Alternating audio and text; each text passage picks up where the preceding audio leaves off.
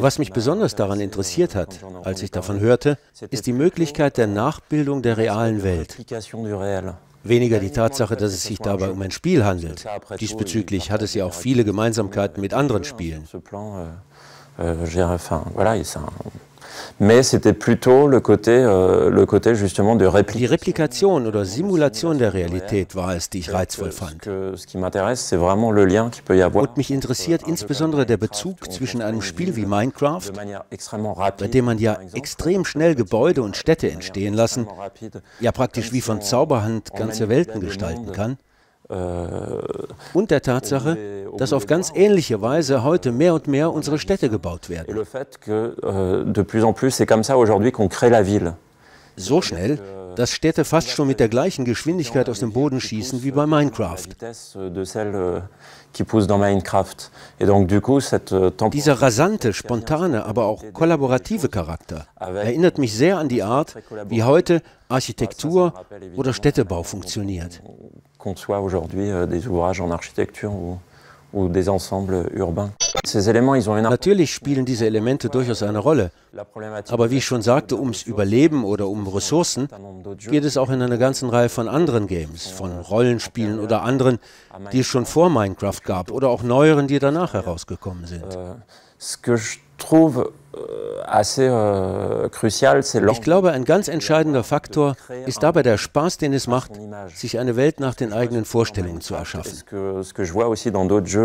Das gilt für Minecraft, aber auch für einige neuere Games wie beispielsweise Blockhood, euh, wo man sich sein eigenes Stadtviertel bauen kann, ähnlich wie bei den sogenannten Neighborhood Games.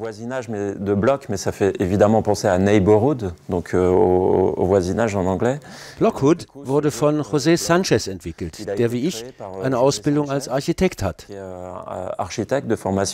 Mit ihm zusammen habe ich eine ganze Zeit lang in London unterrichtet. Pas mal de temps en fait euh, à Londres. Et du coup, ce que je trouve assez intéressant, Interessanterweise arbeiten heutzutage an der Kreation von Computergames wie Minecraft eben auch Architekten und nicht nur Spielenutzer mit. Dahinter steckt meiner Meinung nach das gemeinsame Interesse, die eigene Umwelt zu gestalten euh, und die eigene Wahrnehmung von Raum und Räumlichkeit künstlerisch, ja vielleicht sogar ideologisch in diese Umwelt einfließen zu lassen.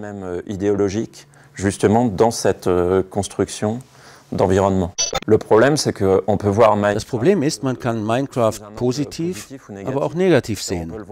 Positiv als Antwort auf eine gewisse Frustration. Une réponse euh, à, à une frustration. Wobei man sich allerdings auch fragen kann, warum man dieses Frustriertsein überhaupt für sich selbst akzeptiert hat. Hätte man schon früher etwas gegen diese Frustration getan, wäre Minecraft vielleicht heute nicht so erfolgreich. Euh, Im Grunde stellt sich die Frage, darf man sich über den Erfolg von Minecraft freuen oder sollte einen das eher beunruhigen? Est-ce qu'on doit s'en inquiéter ich finde, man kann den Erfolg von Minecraft durchaus beunruhigend finden, weil hier etwas in den Bereich der Repräsentation verschoben wird, um es in der Sprache Schopenhauers oder der Situationisten zu sagen. In eine virtuelle Welt, die nichtsdestoweniger aber real ist wenn auch in der Distanz. Euh, euh, Früher war das anders. Da nahm man echte Steine in die Hand und baute sich daraus ein Haus. Euh, die Methoden des Bauens und der Umgang mit der Architektur haben sich in unserer heutigen Zeit aber grundlegend verändert. Und zwar weniger in Bezug auf die Theorie, als vielmehr auf die Praxis des traditionellen Bauens früherer Gesellschaften. Heute geht man damit abstrakter um und bedient sich virtueller Welten, um den Wunsch nach Gestaltung seiner physischen Umwelt zu befriedigen pour, pour moi, je, je suis pas, je suis pas, ich bin mir nicht sicher, ob das tatsächlich eine gute Sache ist. Dieses Bedürfnis wird dadurch zwar teilweise gestillt, aber reicht das wirklich aus?